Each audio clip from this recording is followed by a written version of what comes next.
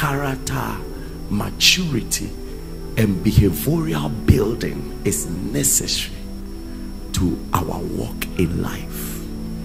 Any a ɛni sɛ yɛtoto n'ase wɔ kwan biara so.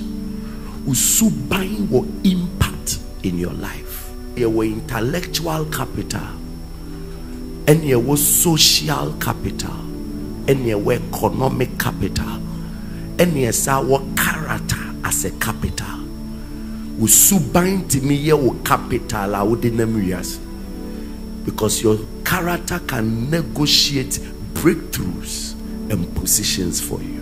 Nyankopɔn wo wo foforɔ he factored in a godly life. He made your spirit righteous uprightness has a part in your character. It will take a winning character to have a winning life no two ways about it a failing character will produce a failing life no two ways there is a deep connection between your character and your reality as a child of God. Do not be moved by charisma, be moved by character. Gifts are to advance this world, but character makes this world worthy of living in. This generation's character has come under serious attack. Nipa ni suban.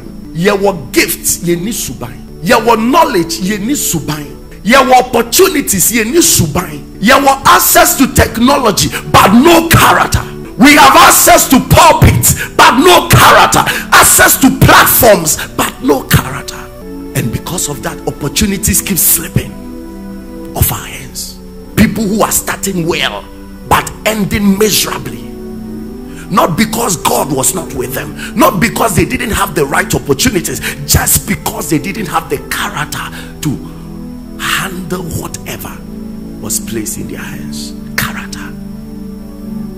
Sɛ wandi wo suban ho you will start with laughter and end with tears. You will start with plenty and end with nothing. You will start as married and end single. You will start as a billionaire and end as a beggar. The difference is character. After we have received all the breakthrough, what is the character that is meet for sustaining those breakthroughs? Usuban ehu hias chain the show because chire the show bottom be